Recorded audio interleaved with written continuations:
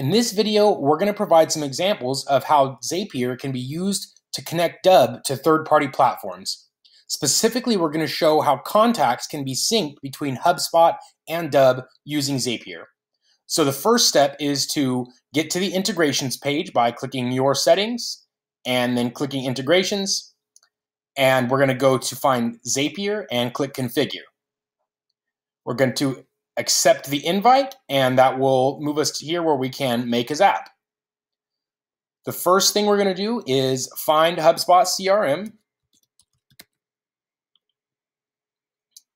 We're going to select New Contact because um, that's what we're basing this off of. As we get a contact into HubSpot, we want to sync that to Dubb. So we're going to click New Contact, Save and Continue.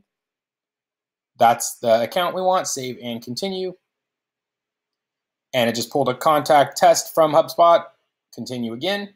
And now we're going to add a step, an action step. So we're going to search for Dubb. And then we're going to create a contact. Save and continue. And now we're going to match some fields so that the contact coming from HubSpot's fields are matched into Dubb's. So you are not required to match each of these fields. However, if they are important to you, I do recommend um, matching them here. So bear with me as we match each of these columns.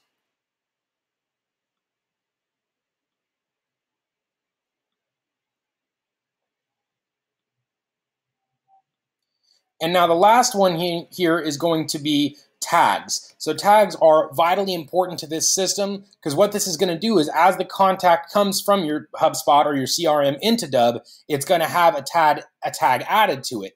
And so those tags will help you stay organized in your workflows inside of Dubb.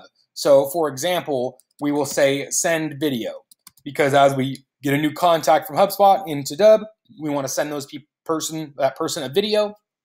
So that will be our next step. And the way the workflows work in Dubb is based off of tags. So if you have 100 people with this send video tag, you want to send them a video, the tag will be there for you to group those people. And so we're going to click continue. We're going to actually skip this test for now and finish. And then we're going to name the Zap, which is a uh, contact